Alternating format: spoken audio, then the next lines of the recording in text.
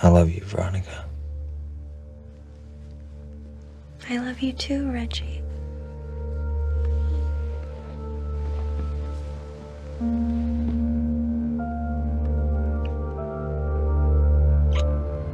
You beat the devil.